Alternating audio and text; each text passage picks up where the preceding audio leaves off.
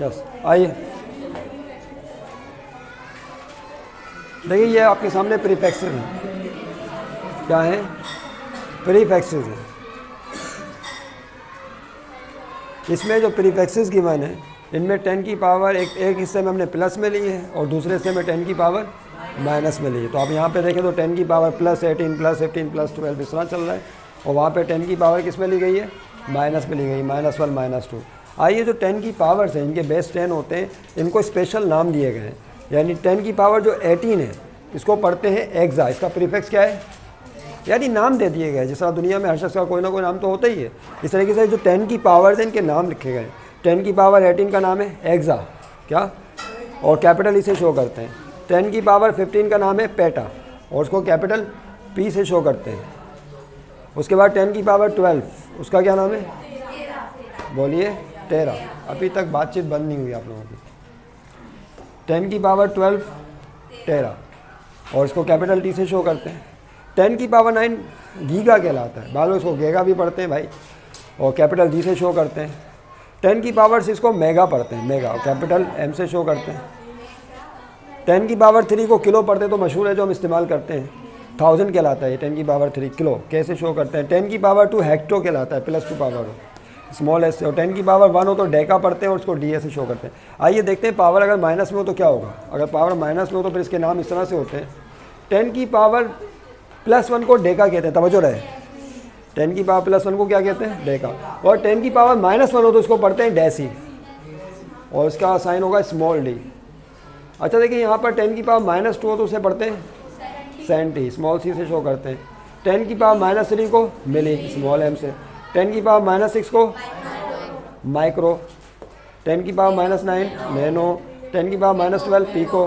Ten की power minus fifteen को femto पढ़ते हैं, फेमटो, स्मॉल एफ़। और टेन की पावर माइनस एटीन को आटो आटो का कोई स्मॉल एस है। अब एक चीज़ और ज़रा अब चाह रहे थे कि कंपेयर करने में आसानी हो जाए।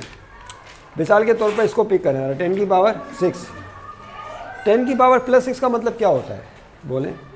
टेन की पावर सिक्स का मतलब है कि वन के साथ कितने ज़ीरो लगाओ one two three four five six कितना बन जाता है? टेन लैख क्या बन जाता है ये? टेन लैख जो टेन लैख नंबर है, इस नंबर को क्या कहा गया? टेन की पावर सिक्स कहाँ पर है? मेगा। क्या कहते हैं इसे? बोलिए। तो टेन लैख को जो है, मेगा कहा जाता है। ठीक है। अच्छा अगर टेन की पावर माइनस सिक्स हो तो क्या होगा फिर? टेन की पावर माइनस सिक्स का मतलब ये होगा कि इसको नीचे लेके जाइए। टेन की पावर नीचे, वन से डिवाइड करें। तो वन अपॉन टेन की पावर प्लस सिक्स हो जाएगा। फिर उसके बाद क्या होगा? टेन की पावर सिक्स का मतलब तो वही जो भी बताया। One, two, three, four, five, six. यानी वन को डिवाइड किया आपने टेन लैख से तो जो दस लाखवा हिस्सा है, क्या? वन का जो टेन लैख पार्ट है, दस लाखवा हिस्सा, उस दस लाख में यानी दस लाख हिस्से कर दिए। तो जो सबसे छोटा पार्ट होगा, दस लाखवा हिस्सा, उसको बोलते हैं माइक्रो क्या कहा जाता है?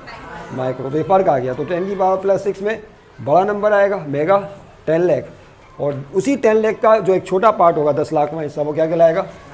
माइक्रो कहलाएगा। एक और मिसाल से समझे। टेन की पावर थ्री का मतलब क्या होता है, बोली? किलो इसका मतलब थाउज़ेंड है टेन की पावर थ्री का मतलब क्या है? अब जगह ही नहीं बचनी हमारे पास। टेन की पावर थ्री का मतलब होता है थाउज़ेंड इसको हम कहते हैं किलो सब जानते हैं इसी तरीके से। और अगर टेन की पावर माइनस थ्री हो तो इसका मतलब है कि वन अपॉन टेन की पावर प्लस थ्री यानी वन से नीचे ले इस टेन की पावर माइनस थ्री को नीचे शिफ्ट करो तो टेन की पावर प्लस में हो जाएगी। तो जब आप टेन की पावर थ्री का मतलब क्या है? थाउज़ेंड वन को थाउज़ेंड से डिवाइड करें तो इसका मतलब है कि एक हज़ार का जो हज़ारवा हिस्सा होगा, उसे क्या बोलते हैं? मिली बोलते हैं। यहाँ देखिए कहाँ पर है? टेन की पावर माइनस थ्री का है? ये रहा। टेन की पावर माइनस थ्री का मतलब है, हज़ार पार्ट करें, उसका जो एक हिस्सा होगा, हज़ारवा हिस्सा that is called milli small M से शो करते हैं। तो इस तरह से बाकी यूनिट्स को या प्रीफेक्सेस को भी आप समझ सकते हैं। इज़ डेट क्लियर और याद रहे सिस्टम इंटरनेशनल को समझना और उसको हैंडल करना इसलिए भी आसान होता है कि इसकी वैल्यूज़ को आसानी के साथ कन्वर्ट किया जा सकता है दूसरे सिस्टम ऑफ़ यूनिट में। मिसाल के तौर पर हम जानते हैं वन मीटर मीटर किसमें यूनिट लिया जाता है? बोलिए। मीटर जो यूनिट लिया जाता है लेंथ का किस सिस्टम में? ऐसा ही सिस्टम में है ना? किसमें है? हम जो मीटर लेते हैं वो किसमें? है ऐसा ही सिस्टम में। और सीजीएस सिस्टम में क्या होता है? सेंटीमीटर अभी लिखवाया आपको। सीजीएस सिस्टम में लेंथ का यूनिट सेंटीमीटर है। तो एम के सी ऐसा ही सिस्टम में मीटर है और सीजीएस सिस्टम में कौन सा है?